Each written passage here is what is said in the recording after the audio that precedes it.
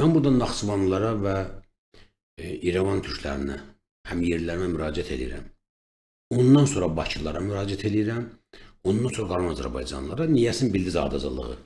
Niyə? Çünki bugün Azərbaycanın bu günə qədər son 30 ildə idarə olunmasında Heydər Əliyev vaxtından xüsusilə 2003-cü ildən İlham Əliyev gələndən sonra Azərbaycanı idarə edən adamların, mafiyanın, klanın, aparıcı adamlarının mənşəyi Naxçıvandandır və İrəvan Azərbaycan, İrəvan türklərindən, İrəvandandır. Bu bir faktdır. Yəni aparıcı postlar istər iqtisadi baxımdan tutulurlar, istər siyasi baxımdan Ramiz Mehdiyevin nəzarətinin altında olub. Fərq eləməsə o Qazaxını qoyub ora, Bakını qoyub daxil yoxdur. Bu klanın başında Ramiz Mehdiyevdir, lakin tərkib baxımından da çoxlu bu aparıcılıq Naxçıvan və İrəvan mənşəli mafiyozlara və cinayətçilərə aiddir. Ona görə mən buradan həmyerlərimə açıq bir mesaj vermək istəyirəm. Əslən vətənlər, mütləq bu ölkədə bir gün gələcək, Xocalın namussuzluğunun alnımızda yazılı qalmasının, Qarabağ namussuzluğunun alnımızda yazılı qalmasının səbəbləri araşdırılacaq. Onda bəlli olacaqdır ki, 1993-cü ildən ta yıxılana qədər hakimiyyətdə olan qüvvə əsas etibarı ilə Naxçıvanlılardan və İrəvanlılardan ibarət olub. Diqqətən qulaq asın. Vaxtı ilə rəhməti Afəddin Cəllov mənə dediyi bir sözü buradan sizə deməyi özümə borc bilirəm. Əslən vətənlər, əziz həmyerlərim, bir gün gələcək, sizi pitləyəcəklər. Və onda sizi pitləyənlərin arasında namusumu and içirəm, mən də olacağım. Əgər siz bugün düzgün meyvə tutmasaz. Eşidirsiniz məni? Bu Afiyəddin müəllim rəhmətin sözüdür. Sizi pitləyəcəklər. Necə ki, Ayaz Mütəlibov 14 mayda dönmək istəyəndə hərənizi qaç bir deşi axtarırdısa Bakıda və həmin şey təkrarlanacaq. Yəni hakimiyyətə başqa bir klan gəlməli olsa, mütləq sizin nəsliniz kəsiləcək və bu klan bu dəfə da baxmayacaq ki, bu Naxçıvandan olan binamus rüşvətxordur, yoxsa Naxçıvanın namuslu ziyalısıdır. Naxçıvanın zavallı bədva kasıbıdır. Klanın çünki əxlaq olmaz. Necə ki, indi Ramiz Mehdiyev klanı o hərəkət eləyir, eləcə də sabah misal üçün Bakı klanı, əgər olacaqsa belə bir klan, gəlib eyni davranışı göstərəcək. Onda əzab çəkən sadə Naxçıvanlı və İrəvanlı olacaq. Niyə? Çünki bu adamlar oğurlar, yaxalarına dərzə kimi vuracaqlar sancaqların, getdilər xaricə. Onların vətəni, onların Naxçıvanı və İrəvanı ciblərindəki bank kartıdır. 1 və yanında 12-16 dənə 0. Aydındırmı? Ona görə də mən buradan tam məsuliyyətimlə bəyan eləyirəm. Azərbaycan dövlətinin bu günə düşməsinin səbəbkarı, Qarabağın bunca illər ərzində işğalda qalmasının səbəbkarı, Xocalın namussuzluğunun qisasının alınmamasının səbəbkarı, ölkədə bütün iqtisadi problemlərin, bütün sosial problemlərin, bütün hüquqi problemlərin səbəbkarı Naxçıvan mənşəli adamlar tərəfindən bu dövlətin 30 ilə idarə olunmasıdır. Onun da başında durub Ramiz Mehdiyev. Bu klan təmizlənmədikcə Azərbaycanda qurtuluş olmayacaq. Buna mı bilsin? Ona görə də mən Naxçıvanlıları, mən İrəvan türklərini, sonra Bakılıları, sonra qalan bütün Azərbaycanlıları, ardıcıllığın hamısının da özünün funksiyası var, məqsəd var. Çağırıram bir nəfər kimi bu mafiyaya qarşı mübarizəyə. Ramiz Mehdiyev klanının kökünün kəsilməsi üçün, qurudulması üçün mən sizi mübarizə çağırıram. Bu gün bu mübarizə qoşulmayan Naxçıvanlı və İrəvan türkləri sabah bitlənəndə bir-bir inciməyin məndən. Özünə ziyalı deyən, özünə namuslu deyən adam klana qulluq eləməməlidir.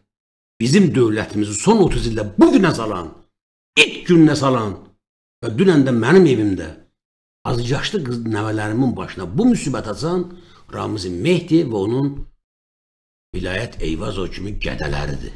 Eşidir məni?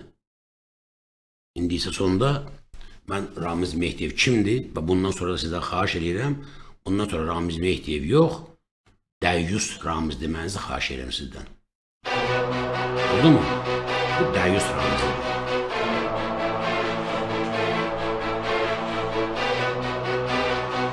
کار نشد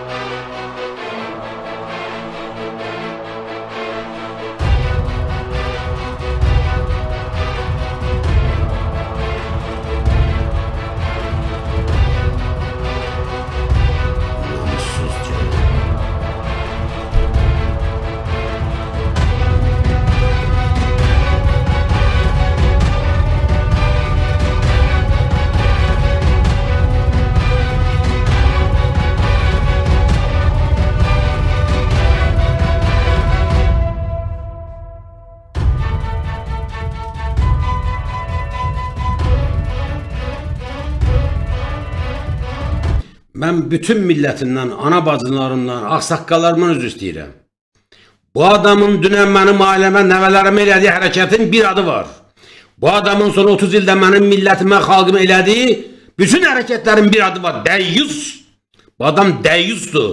Bu Ramiz Mehdi deyil. Bu dəyyus Ramizdir. Bundan sonra bunun haqqında yazanlar, dəyyus Ramiz yazmayanlar öz vicdanları qarşısında cavab verəcəklər.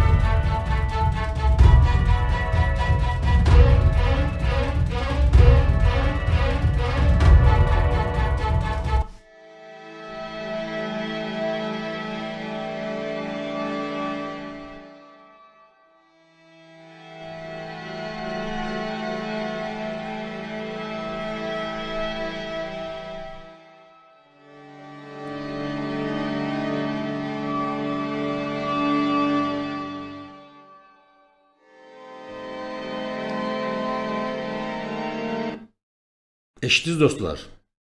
Dəyyus Ramiz, onun bibisi nəvəsi, Vilayət Eyvazov vəzifədə qaldıqsa, nə Qarabağ alınacaq, nə də Azərbaycanın qalan o biri problemləri həll olacaqdır.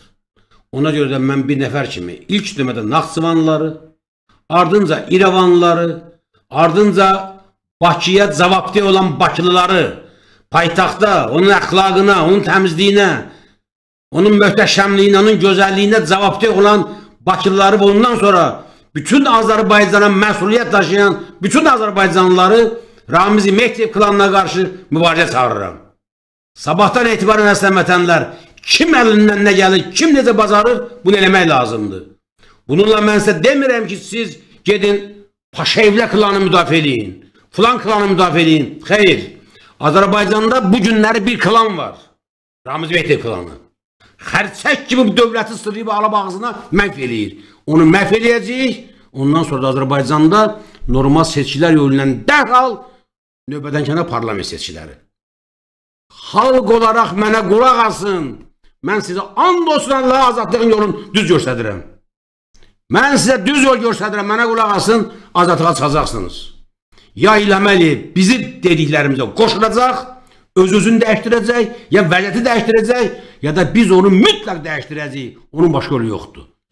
Bu gedişə biz dözsək, belə davam eləsə, inanın mənə Azərbaycanın dövlət kimi məhvi çox yaxındır. Allah uzaq eləsin. Gizəniz xeyrə qalsın. Bir-birinizi sevin, bir-birinizin qədrini bilin. Siz böyük bir millətin nümayəndələrisiniz. Böyük bir millətin, şərəfli bir millətin Azərfilm adlı ləyəqətli insanlarısınız. Hamınızı bağrıma basıram, hamınızı salamlayıram. Bu baş verən hadisələr heç birinizi məyus eləməsin. Bizi nə bu daş, torpaq, beton, ev, mev, belə şeylər yolumuzdan döndərə bilməz. Bizim əldə etmək istədiyimiz daha böyük şeydir. Ev, mənzil yox. Azərbaycan, can Azərbaycan, milyardlarla sərvəti ilə, qazı ilə, nefti ilə və sənin kimi şərəfli milləti ilə bir yerdə. Bu Azərbaycanı biz mütləq alacaq. Gəzən xeyrə qalsın. Allah manna qalan var olun. Sabah saat 21.00-da Aydın Zanla Aydın kişi söhbəti. Sağ olun.